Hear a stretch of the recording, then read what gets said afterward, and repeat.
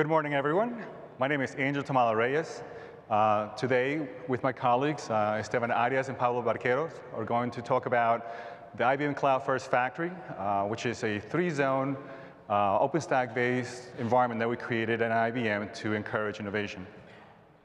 I hope you enjoy. Uh, this is basically a story um, that is literally a point in time. Some of the things that we're going to be talking about today um, may not be relevant uh, today uh, based on the, the, newer versions of, of OpenStack, especially with Icehouse. Um, but um, you know, our experience, I think, uh, I think it will be valuable to some of the guys that are here. So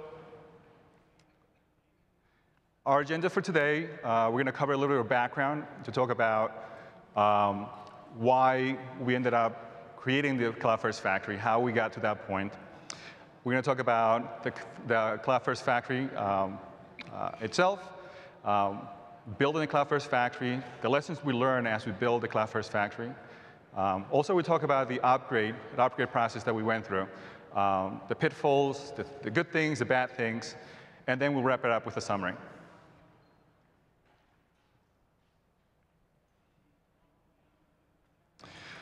So First of all, who here has heard about IBM Smart Cloud Enterprise? Just a few people, right? so about 2009, 2010 timeframe, IBM decided to create its first uh, public uh, uh, cloud offering, uh, and it was called the Smart Cloud Enterprise. Myself and a few other developers were tasked to create this offering. Uh, it was based on top of IBM infrastructure, IBM technology, uh, but one of the problems with, with, with uh, SCE, I'll, I'll, call it like that, but uh, SCE really never uh, had enough of an ecosystem. It never developed. Uh, one of the problems that we had with SCE was that uh, they were missing APIs for you know, critical resources, like you know, features like SCAS, for example. Um, some of the problems around SCE as well were that some things were not, you know, most of the things were um, capable to do, you know, using the UI, but not necessarily the API. And today we know that everything is all about automation. Automate, automate, automate. Uh, so you don't, you're not going to have a machine automate clicks on the screen, for example, right? So um, then in early 2013, um, IBM announced that we were going to support OpenStack and we're moving to OpenStack. Uh, why? Because, you know, a strong ecosystem. It's Linux for the data center, essentially, right?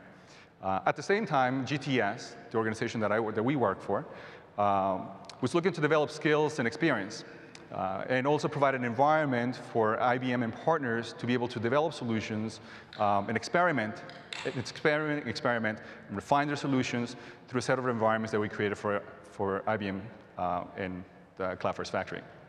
Um, so the plan was to, from IBM's perspective, was to take SCE, uh, and adopt OpenStack on, you know, on, on, on the IaaS layer, right?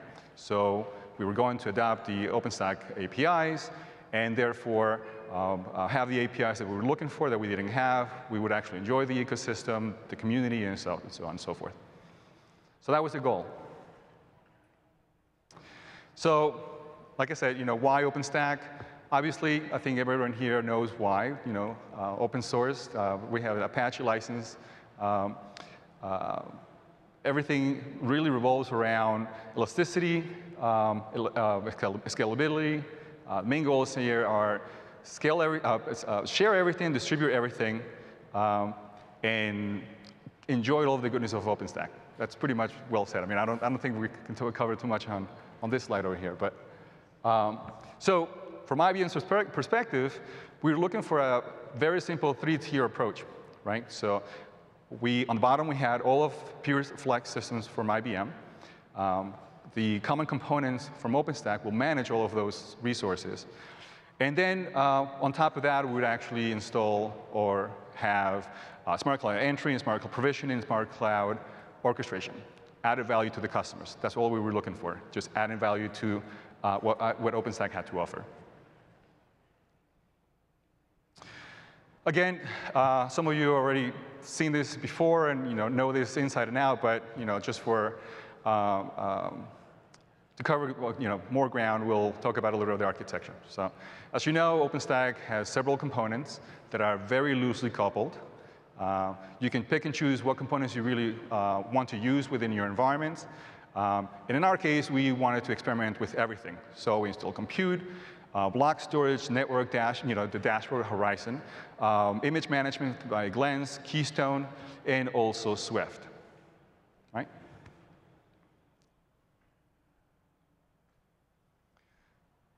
So what is the Cloud First Factory? So all we wanted to do was to harvest the community. Our community was IBM internal, third parties, and the open source community. Uh, we were looking for offerings, services, components, and any asset that we can actually bring into the IBM Smart Cloud Enterprise.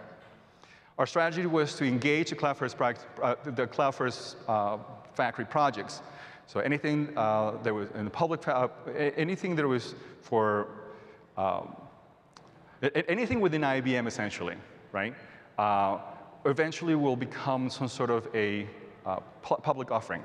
And we just wanted to curate all of the technology and all of those projects through the different environments we were about to create. Experiment, experiment, experiment. That's what really we're trying to do, is, is just allow people to come in and add their projects and continue to experiment and move their applications to the, the different environments based, uh, depending on how, you know, depending on the development cycles. so um, SCE, uh, uh, the Cloud First Factory was sort of like the guinea pig for SCE. SCE was doing their development in parallel as we were trying to learn about a little more about uh, OpenStack. Uh, we wanted to experiment with better hardware. Um, we wanted to uh, upgrade our networking and also use OpenStack, right? SE was literally concentrating on porting all their stuff, but we wanted to learn a little bit more. How can we make it faster? How can we, how can we add direct access perhaps to, uh, to disks, for example, for some of our analytics work that we were trying to do? So we were literally enabling innovation that SE could not do at the time.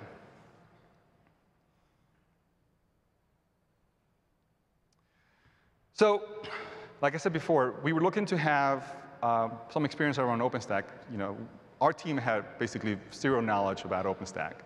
Uh, but we had experience on S with SCE. Uh, we have minimal Python experience.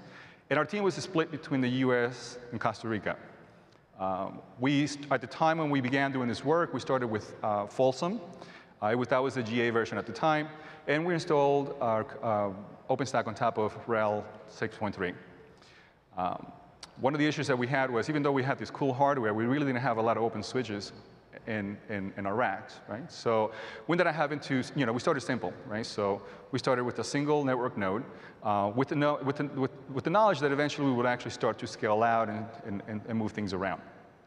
Um, so uh, let's see, we added services as, as, they were needed, and we added compute, compute nodes as, as they were needed. And we started from a basic install. It was literally just like the install script right? So this was our hardware.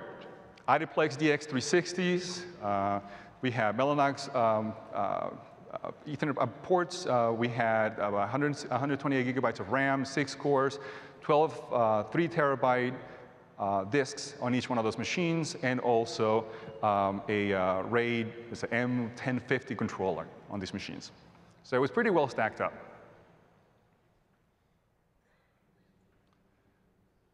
So, like I said, so here we're talking about our community, customers, third-party community, open source, business partners. The IBM internal community was research, GBS, GTS, software group. So we were looking for them to be able to start playing with our stuff, right? Here are the three, the three zones, integration, partner, and client.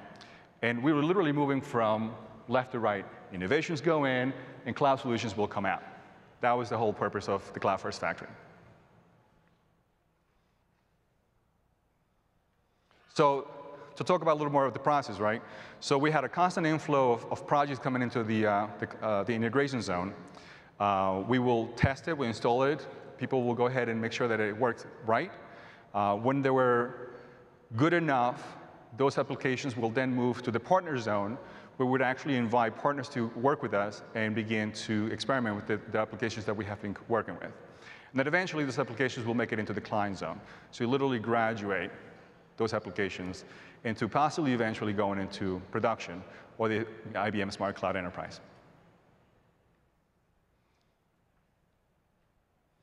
Some of the projects that we worked on, uh, uh, this is just a short list. Uh, uh about 80, I'm sorry, 82% of the, the projects were uh, created by IBM. Um, GTS, uh, the software group had projects like DBaaS, virtualization as a service, Big Insights, Cloud OE, which is now called the um, Bluemix, Project Bluemix, right? and they were basically our, our biggest customer. As a matter of fact, we learned a lot about OpenStack when uh, Bluemix began really hitting our servers, right? Uh, we learned a lot about network use, how, avoid, you know, how to avoid uh, problems with network, um, how to avoid problems with Cinder, um, and pretty much uh, Bluemix put us through our paces. They were, like I said, they were our largest uh, customer. Um, also, our third-party uh, vendors were like Mellanox, uh, and also Fabrics with Kaltura. So we did some video work as well too. Uh, some of the work that we did around video, or even uh, uh, data mining, right? I'm sorry, uh, big insights or, or big data, um, led us into trying to figure out ways to make this access faster. At the time, there was no way to have direct access to disk. I believe now actually we do have the capability. Uh, but one of the, the, good things that we were able to figure out was that some of the changes that we were doing allowed us to be able to, be able to get about 80% performance to bare metal, which is not bad considering that you know, you're working with virtual machines the whole time.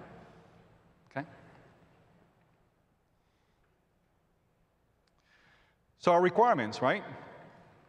Our primary delivery uh, was a public cloud uh, using industry-recognized uh, APIs, we needed to reach a, a big ecosystem, right? Um, virtualization was KVM. For storage, we needed to have ability to be able to connect to tape, local storage, object store, and block storage. Uh, we leveraged um, OpenStack to manage all of our infrastructure. Um, and at Cloud First Factory will provide operational insight into SCE. Again, we were essentially the guys who will go and discover what are the things that we could do with, with, with OpenStack, what was possible, and then make the, you know, and then share what we learned to the group that was building SCE or SCE 3.0. So there we go again. Hardware, then OpenStack, and then, uh, you know, like I said before, like uh, or Bluemix, some of the projects that we had, and uh, Big Insight.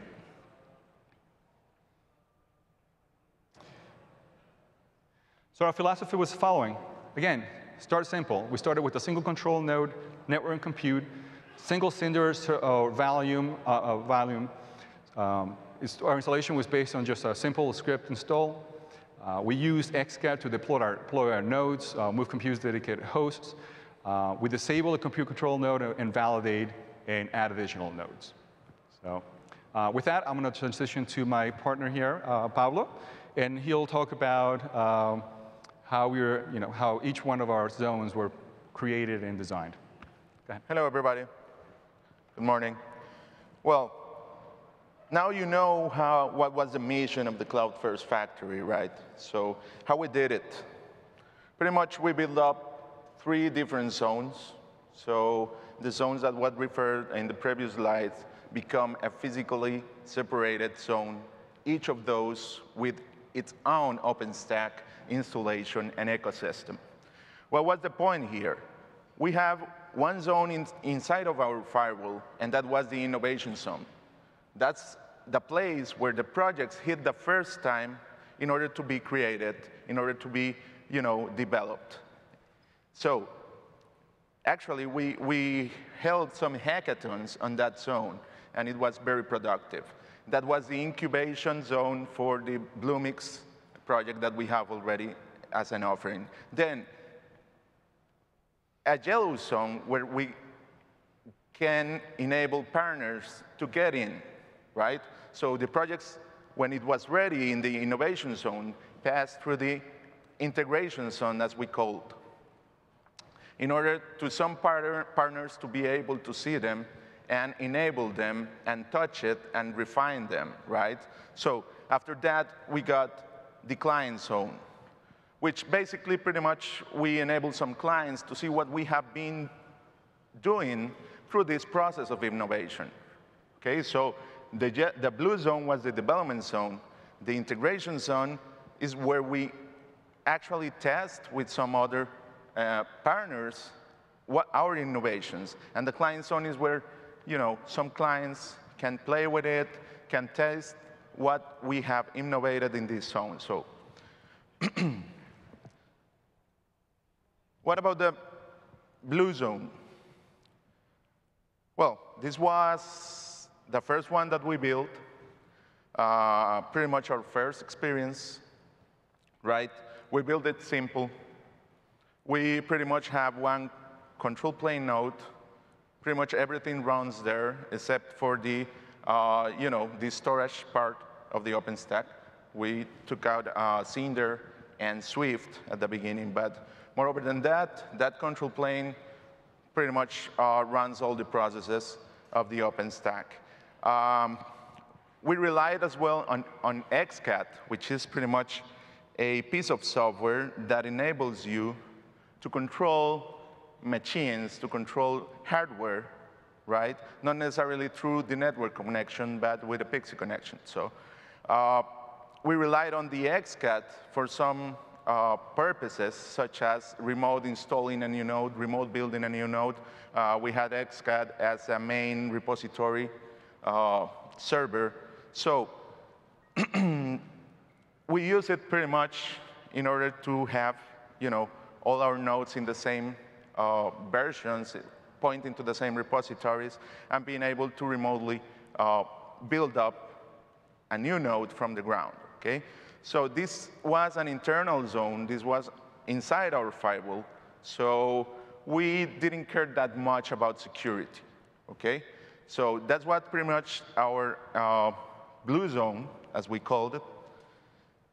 What about the other two zones?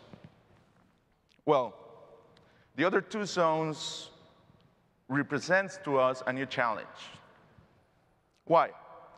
Because those zones will be heated through the internet, will be used through the internet. So we need to harden these zones pretty much. So what we did different here, and I will go through the different points that we face uh, with a public uh, cloud that we have built here. Well, pretty much we use some, we, we split some components of the, of the OpenStack control node on a separate virtual machine, okay? Pretty much Horizon and Qpid was moved to a separated virtual machine. The other services, though, as well MySQL, yeah. The other services, though, remain on the single controller node, right? As you can see, we had no high availability at all. We have a single control node, right? So in that control node as well run the network part of, of uh, OpenStack. We relied on Nova Network. Remember, we started in Folsom, right? So we relied in Nova Network in order to do all the VLAN tagging and all that stuff that is needed in, in this sort of installation. So that was pretty much our yellow zones. So as I told already, that was challenging in terms of we are given these OpenStack environments to be able to be accessed through the internet.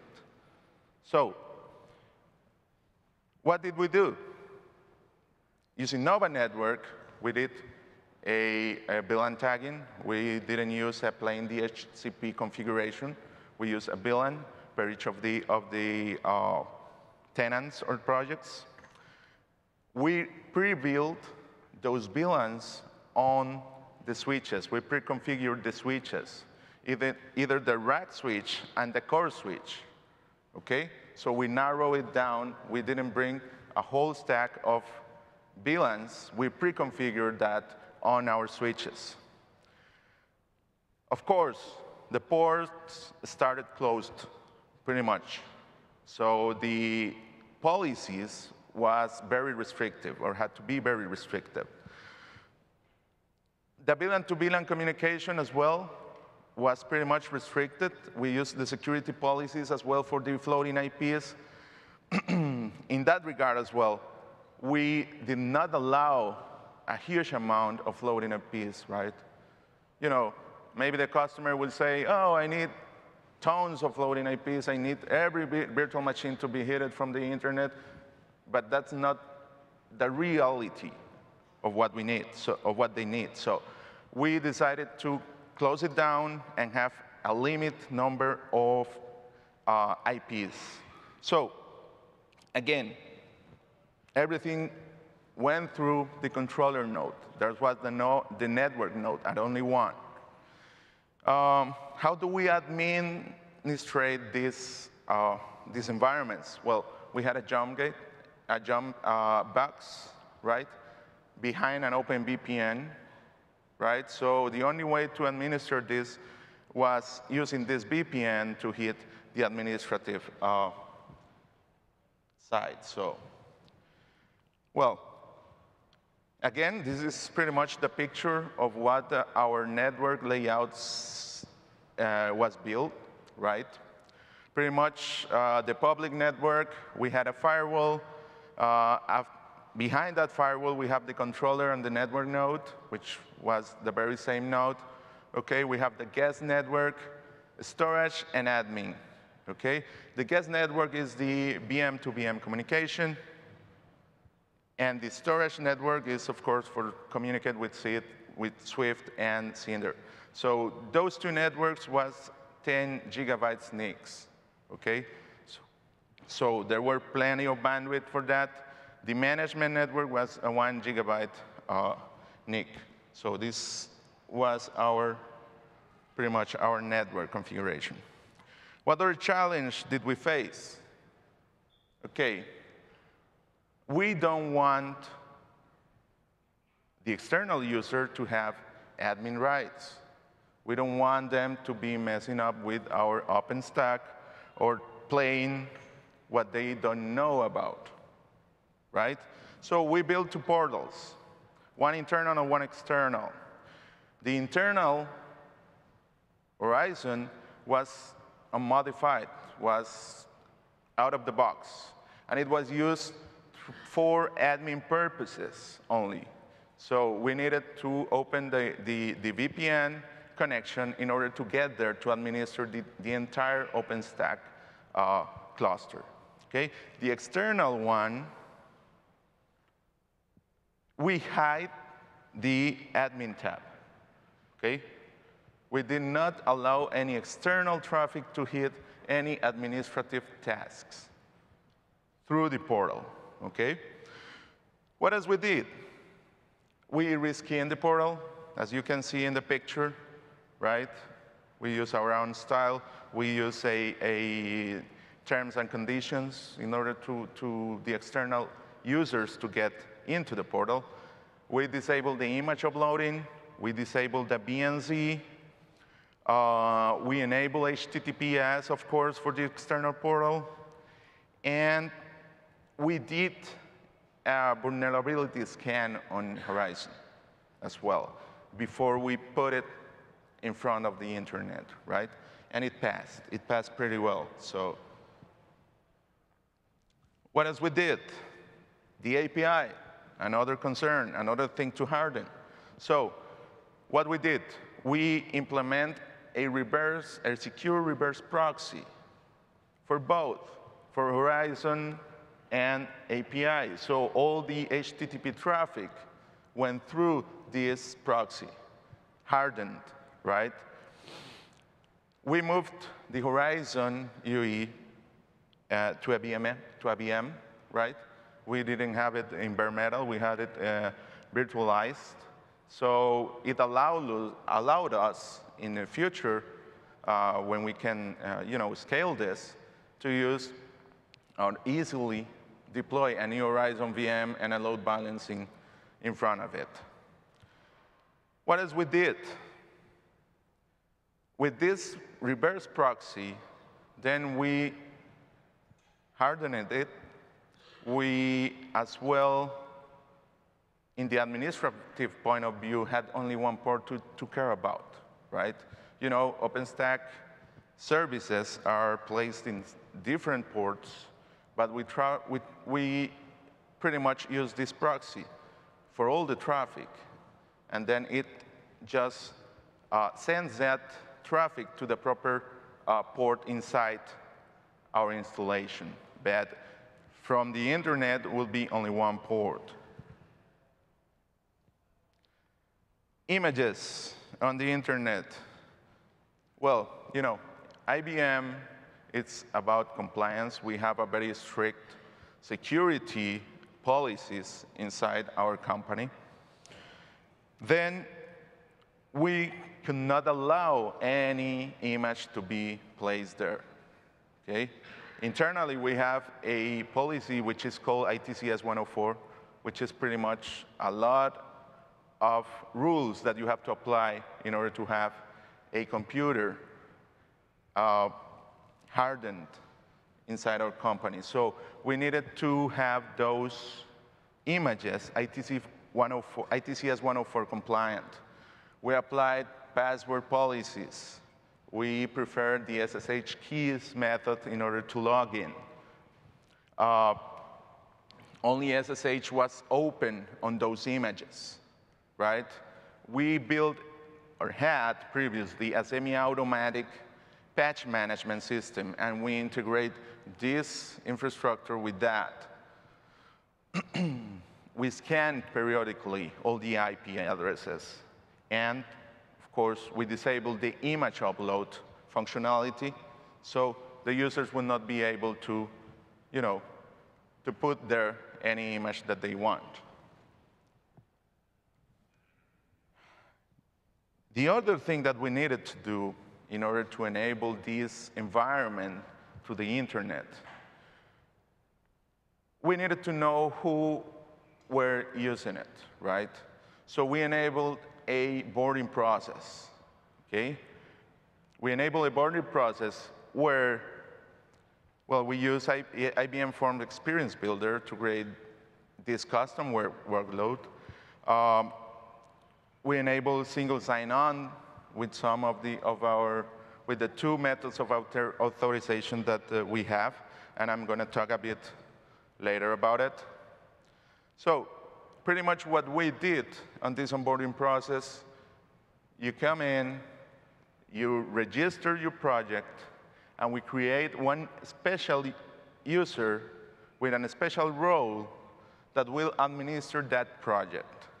So that's a modification that we did on Keystone as well as in Horizon in order to enable this functionality. And that's what we did. First of all, Horizon has the supposition that the only one that will create, or at least at this point of time, again, I know that it has been evolved pretty much, but we started in Folsom. I need to re recap that. Horizon thinks that only the admin can create users at that point of time. And that's not the way that we can enable this on a public cloud, right? So, as well at IBM, we have two authorization app APIs, the IBM.com, and the, which is external, and the W3, which is pretty much our intranet, our internal directory. So we needed to integrate Keystone to those two authorization APIs. So we took Keystone, we extended it in order to be able to delegate the authentication on that, those two APIs. So we did a piece of code and extended it, added the extension to our installation, and we were able to properly authenticate with these two uh, authentication APIs. So what we did then in order to change this workflow or this assumption from the Horizon perspective in order to be able to create more users, but not giving the admin uh, privileges to everybody. On the onboarding process, we created one user, which is the project admin. Then what we did is we included in Keystone this project admin role. And we added in Horizon a new tab that you can see on the screen, which is called Project Admin. So this new role was able to create users, but only in his own tenant. So with the onboarding process, we created a new project for this person that is being taken the, through the onboarding process. Then this person will have, will be allowed to have the project admin role and then could add new users to its project. So we hardened it that way, the user access. We did not allow everybody to have the admin rights. And we were sure that the users that we, they, are, they were creating was only for the proper tenant that they were working on, not having the entire access to all the tenants. So that was pretty much.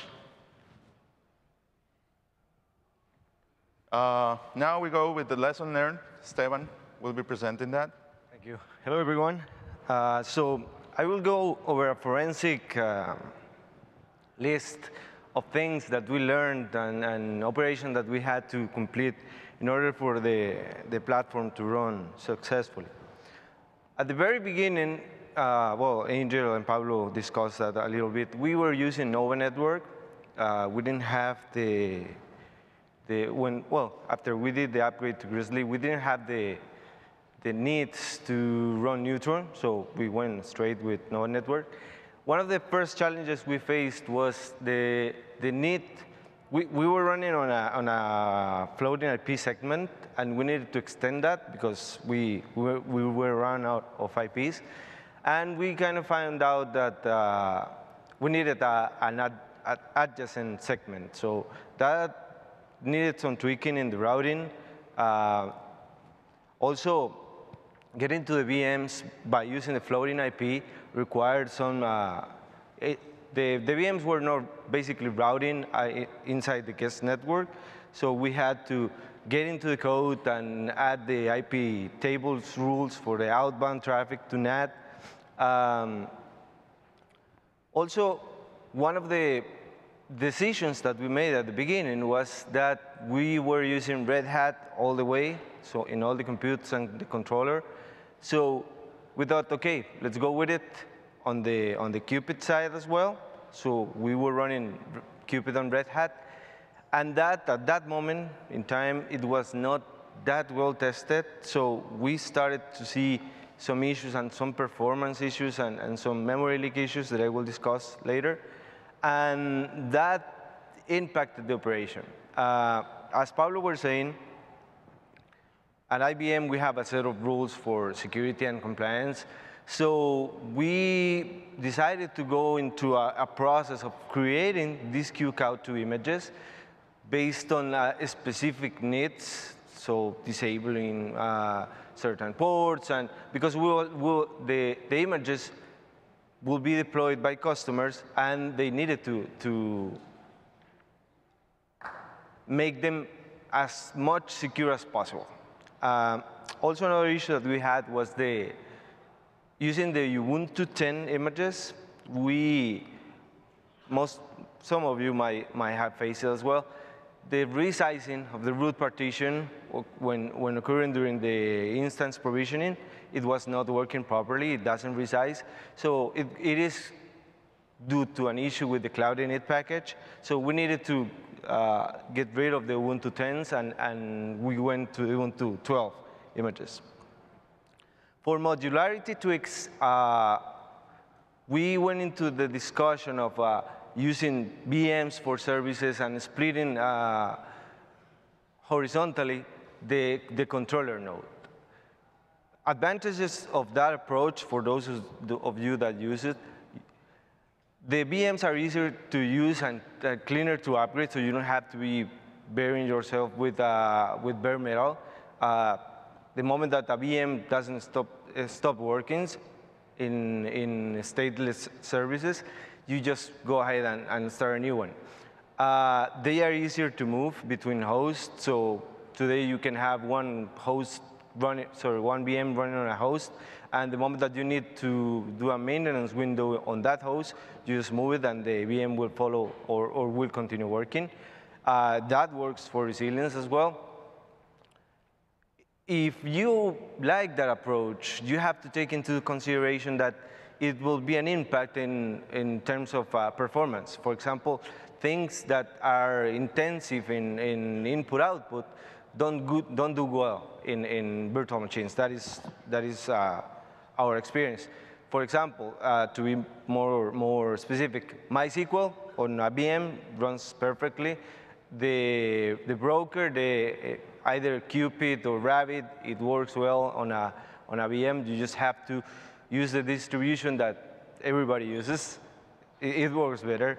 The Horizon, we ended up putting on a VM behind an Nginx uh, uh, package. So it performed very well. We had two, in fact. So that we, we didn't we didn't have the problem of, of losing the, the the portal. Maybe tending to know and definitely know Swift and Cinder. And Glance, it depends on the workload that, that you run. Um, if it is intensive, I, I wouldn't recommend it because you have a bottleneck there. Okay. Resiliency considerations also that, that we applied. Uh, for the operating system, we just had a simple RAID one. Uh, I have heard some conference here that do not go into expensive hardware. Let's say that these, these racks already had all the controller for RAID, so uh, it, it, it, continued to be um, commodity hardware, right? About the operating system, is it that important? You can reload it, fairly simple, really easy, but uh, the thing is that your operation will be impacted, right? And, and it doesn't take much. For the compute nodes, in terms of the rest of the, when you don't have centralized uh, storage, we do recommend having a RAID 10. So the, you have at least the opportunity to recover from, from certain losses and the operation won't, won't be impacted. So, because at the end we will see a monitoring tool that uh, is, is start to telling you in advance so you don't have to get your boss on the, on the call or, or, or something telling you that uh, you just lost a compute node. For Glance and Cinder, we also followed that approach. So at the moment that we were doing the upgrade, we re-architect to do this RAID 10 configuration. So uh, it, it was kind of a just in case architecture, right? Now we'll see upgrading. We, we went, uh, at that point in time, we went from Folsom to Grizzly. Uh, the very first thing that we found was that the, all the documentation said that upgrading uh, an in-place OpenStack installation was a a huge amount of work, and it was very manual, right? So we decided to go on board with that. Uh, it, it's important to take into consideration that you have to be clear about what you are expecting to get out of the out of the upgrade, not just because it's the greatest and latest. Uh, we had some, some features that we wanted, for example, the conductor service that uh, eliminated the, the, the, access from the compute nodes to the database that, that uh, was impacting our performance. And also the opportunity to, to re-architect was a, a, a, very good uh, reason behind upgrading. We split the control node into a number of VMs, like I already explained. We scale out the API services, and we scale out uh, Horizon.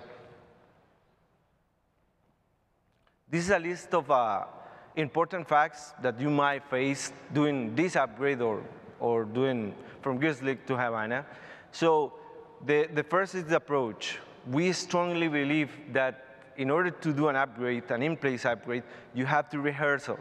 You have to do it over and over. We, we create a test environment, not exactly the same, of course, and not with the same data as well.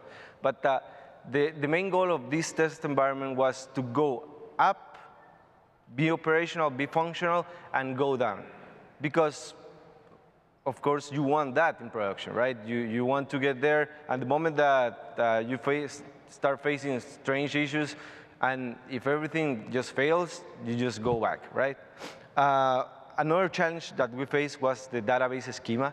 So it changed quite a bit. There were some new tables, new just new, uh, new columns in tables. So this this was kind of crazy because we ended up, for example, having a particular issue where uh, they introduced a new member role in, in, the, in the code, and it, the moment that you started to make it work, we faced an issue where when an admin added a new member role, it started to delete the rest of them just because the, the, the names were different. So that, that was very interesting.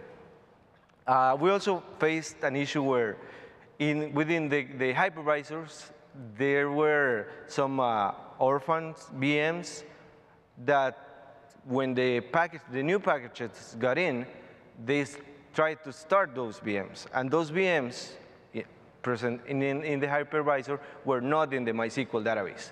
So the, the moment that Nova sees that the two lists are different, it starts going crazy. It was a manual process to clean up. You had to actually go into the tables, see what VMs were in, in, the, in the OpenStack database with uh, valid status, and compare that with the, with the actual inventory in the, in the hypervisors. Also, the DB-sync on certain databases failed. Uh, you had to update the, the layout manually. And we had some issues with the VNC services. We uh, enabled those for certain environments, and there was an incompatibility with, between the OpenStack consoleauth service and the, the rest of the services. Okay. On this slide, important, uh, we tried at the beginning to do too much. We tried to do the upgrade, we tried to move Glance, and we tried to move Cinder. We found that it was too much to choose, so we, we ended up doing the upgrade to the platform that is, not, that is just not a yum upgrade. You actually have to do a lot of steps, and then we did the Glance and the Cinder stuff. Um, we, important as aspect of this, we integrate Horizon and, and Swift from the community version into the, into the EE version that we were running. So that was uh, a good step. Other than that, like it says, the upgrade process was straightforward. You just have to rehearse and prepare yourself for, for, for the issues that will come. They will show up no matter how much you, you try it. This is how the, the architecture looks today. I wanted to highlight that we use four NICs for, for all the operations. We split the management, the images, the communications between VMs, and uh, the outbound routing. So it's, it's a reference architecture that, uh, for, for those of you who saw the, the SoftLayer and IBM uh, deployment, it's fairly easy to, to get there. Lastly, I wanted to mention the monitoring. Uh, for those that attended the previous conference, you can have, or you will know in advance what is wrong with your platform just using uh, regular checks. Uh, we use several, SSH, Load, MySQLs, uh, and there is a market for this, so you get uh, plugins to check almost everything. Uh, this is the way that it, that it looks. So the moment that you see a red uh, sign there, you will get an email, all your peers, and, and that's it. You, you, will, you will be informed. Okay, so I leave it to Andrew. Thank you, everyone.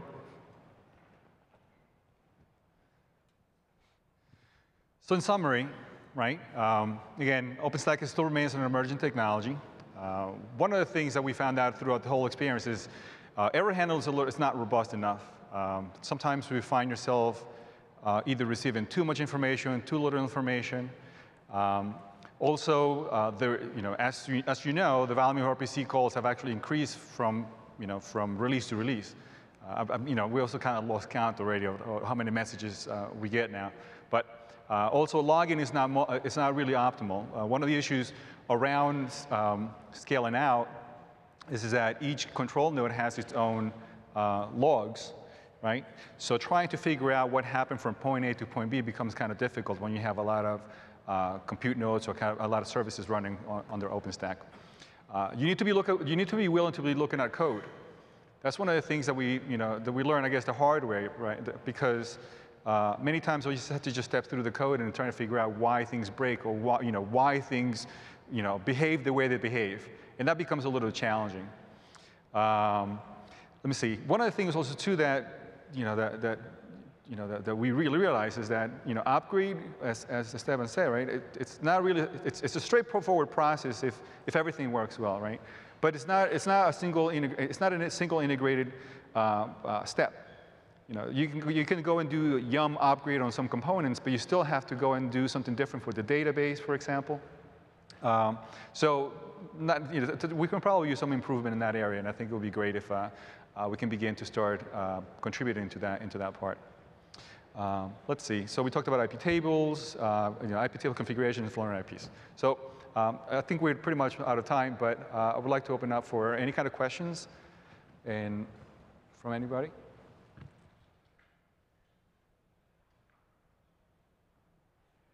Yep. Do you guys experience experienced um, attack, Excuse me. like the DDoS attack?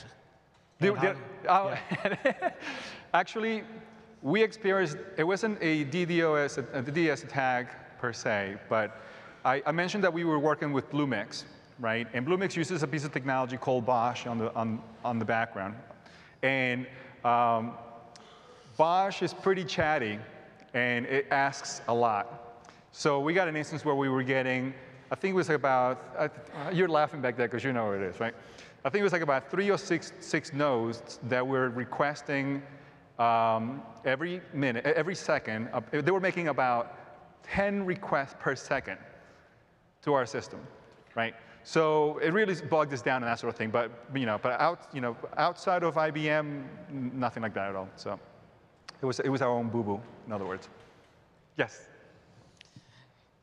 Hello, Tracy with E-Trade. Um, you had mentioned making some or extending Yes. uh, Keystone and adding some adapters uh, for on the auth- authentication. What are the challenges you faced with trying to integrate that code as going through upgrades? Uh, I, well, it, was, it, wasn't bad actually. Uh, I think uh, one of the issues that we ran into was because there was some, some code was probably, you know, some IP addresses were hard coded. But for the most part, it actually, it worked fine. It, it, you know, we didn't really have to make some major changes to the code uh, on our end. Were you able to make it modular or abstracted enough so that uh, you know the upgrades when those come along, you're able to upgrade the bulk of the code, but then also kind of bring in your adapter. Exactly right. So, so it, it was, the code was not, the- changes were not embedded into the, into the actual OpenStack code. Instead, there were, right, so we just brought in, brought in those, those adapters in, right? So you modify your, uh, I guess, your configuration, right, of, of Keystone? Can you, can we, Can can you we please? turn- We, we actually developed our code in a modular way. So what we did we, was pretty much telling Keystone in the config file, use this uh, adapter Yeah. to do the authentication. So we ended up uh, using the same interface in order to communicate properly with Keystone and doing a module uh, aside from the main code of OpenStack. So that's why the upgrade w- wouldn't hit us at that point. I got you. Thanks. Appreciate it. Welcome. Yes, sir.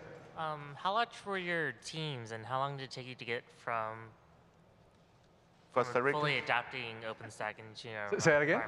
How, how long? How, how, how big were your teams? How, many how big is the team? Um, well, you're looking at it.